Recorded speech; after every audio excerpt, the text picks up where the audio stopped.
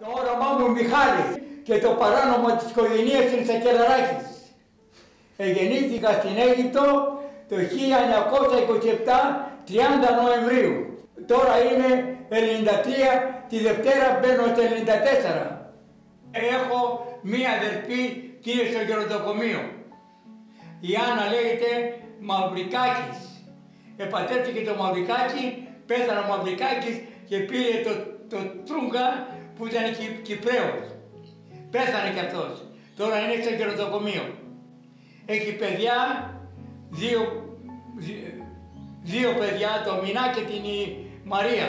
Εγώ έχω δύο παιδιά, το Μανώλη και την κόρη μου την, ε, την, την Αναστασία που έχασε τον άντρα της 54 χρονών, είχε εταιρεία 100 ανθρώπους, μηχανικούς, δικηγόρους και για να τους κρατήσει ε, ε, οικονομικός επέρωνε 10 εκατομμύρια δολάρια να κρατήσει ο Έντες τους ανθρώπους, 100 ανθρώπους το χρόνο. Πέθανε και δεν πήρε τίποτα μαζί του. Δηλαδή όλοι, όλοι θα πεθάνουν και δεν θα πάρουν τίποτα μαζί τους. Έχω το παιδί μου, Μανώρης μου, έχει εστιατόριο, έχει κλαπ, έχει ταβέρνα και έχει και στην Αμερική ε, για να, ε, ε, παραγωγή της μπύρας.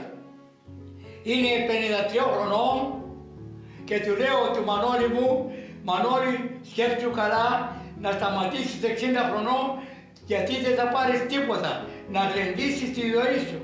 Εγώ πήγα στην Σκοτία, στην Αγγλία, στη Γαλλία, στη Ελβετία, Ολλανδία, στο Βέλγιο και γύριζα την Ελλάδα όλη κάθε χρόνο πήγαινα γιατί τα οικονομικά μου ήταν μεγάλα. Εγύρισα όλη την Αυστραλία, Μπαραρή, West Australia, παντού. Και πάω τώρα, αλλά δεν μου επιτρέπουν να πάω να τα ταξιδέψω, γιατί η ηλικία μου δεν το καλεί. Γιατί φοβούνται μη πάθω πρέσα στο αεροπλάνο και πεθάνω. Και έτσι σταμάτησα. Και θα σου πω να ρητώ, Άνθρωπε ανόητε, δεν το καταλαβαίνεις. Όσα και κάνεις στη ζωή, τίποτα δεν παίρνεις. Ένα άλλο ρητό. Σου χάρουν τις αποματιές, βότανα δεν τις χωράνε, ούτε γιατροί γιατρεύουνε, ούτε Αγίοι βοηθάνε. Άμα θα έρθει η ώρα σου, εκεί θα πάνε όλα. Μη μου μιλάτε για ξενιτιά, γιατί η καρδιά μου κλαίει, κρατάει το πόνο μέσα της, ανθρώπου δεν το λέει. Όταν ήμουν στο ημιγυμνάσιο, με πόναξε ο γενικός διευθυντής του σχολείου και μου λέει «Μιχάλη, θέλω να δω το πατέρα σου». Πάω σπίτι, πατέρα, σε θέλουν στο σχολείο να σου μιλήσουν. Όταν μιλούσαμε εκείνο το καιρό στις γονείς μας, ε, ε, ε, κατεβάζαμε το κεφάλι και ακούγαμε τον πατέρα. Είχαμε ευθέβεια. Σήμερα μέρα τα παιδιά καπνίζουν μπροστά στον πατέρα δεν έχουν εκείνη την ευγένεια που είχαμε το καιρό εκείνο. Μετά από το ελληνικό σχολείο, α, μετά που ο πατέρας μου πήγε και είδε το κοινοτικό ε, διευθυντή, του λέει ο γιος του είναι έξυπνος να γίνει γιατρός. Γυρίζω σπίτι το απόγευμα, με φωνάζει ο πατέρας μου, μου λέει ο πατέρας μου, ξέρεις τι σου είπανε, να γίνει γιατρός. Λέω όχι πατέρα, λέω γιατί αγαπάω τις γυναίκες και θα πηγαίνουν φυλακή κάθε εβδομάδα. Ρε από τώρα μου λέει, ακούς, έπειτα πήγα στο γαλλικό σχολείο. Ε, έκανα τρία χρόνια εκεί πέρα. Έτσι πήγα στη γαλλική εταιρεία και έμαθα μηχανικός. Έγινα αρχιμηχανικός όταν ήρθα στην Αυστραλία και τρεις εταιρείες δούλευκα και μετά πήγα στο Φόρεκ 20 χρόνια. Η γυναίκα μου πέθανε πριν 18 χρόνια. Και να ξέρεις πόσες γυναίκες μου περθήκανε να, να έχουμε φιλία, να με την Παναγία του μιλάω ελληνικά, ήρθε μια γυναίκα μου λέει, έχω γιούρι στο γορκό, φύγε. Έρχεται άλλη και μου λέει, μένω μόνη μου, φύγε. Έρχεται άλλη, μου λέει, ε, τα παιδιά σου είναι δικά σου, φύγε. Έρχεται μια κοπέρα 30 χρονών, μα την Παναγία, έτσι που του μιλάω, τα αλήθεια. Μου λέει, θέλω μεγάλο άνθρωπο. Και ήμουνα 80 χρονών. 30 χρονών και μες έφερε. Ο Μιχαλίδης ο γιατρός μου έφερε μία παρέτηση και μου λέει Μιχάλη θα σου βρω μια γυναίκα 60 χρονών. Λέω δεν θέλω εκεί.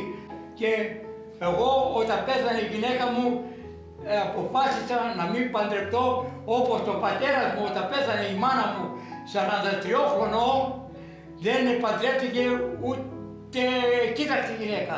Ε, έμεινε με την αδερφή μου, με τον γαμπρό μου στο σπίτι. Εγώ πήγα και έμενα με τη θεία μου. Αλλά όταν ήρθα εδώ πέρα παντρεύτηκα το 63, το 65. Η γυναίκα μου λεγόταν Δευτερέο. Ξέρετε, έχει Δευτερέο εδώ πέρα. Ε, τη λέγανε Ελένη και αυτό ήταν όταν παντρεύτηκα και από, ε, έκαναμε οικογένεια και μετά έφυγε πριν 18 χρόνια. Λοιπόν, τώρα είμαι 94 χρονών και πάω στον γιατρό τον Μιχαλίδη και μου, μου λέει εγώ θα σε κοιτάξω μέχρι που θα κλείσει το μάτι σου. Η μοναξιά στον άνθρωπο ώσπου να βγει η ψυχή του. Κάθομαι και τραγουδώ και έτσι περνάει η ώρα. Η μοναξιά με έπαε και κλαίω όλη την ώρα. Κλαίω όταν βλέπω την ποδραπία της μάνας μου και της τραγουδάω το, της μάνας το τραγούδι, νομίζω ότι ανοίγει τα μάτια της και το στόμα της μιλάει. Η, η ζωή, η μονότονη είναι απελπιστική. Όταν πάθεις, μαθαίνεις. Γιατί σηκώνεσαι το πρωί και δεν έχεις κανέναν άνθρωπο να του πει καλημέρα και δεν έχεις άνθρωπο να σου πει έλα κάτσε να μιλήσουμε. Αυτό είναι πολύ δύσκολη ζωή. Σε γνωρίζω από την όψη του σπαθιού τη τρομερή. Σε γνωρίζω από την όψη τη μετιά με τραγινή απ' τα κόκαλα βγαλμένη των Ελλήνων τα γερά και σαν πρώτα δριωμένη χαίρο και ελευθεριά και σαν πρώτα κρυωμένη χαίρο και ελευθεριά.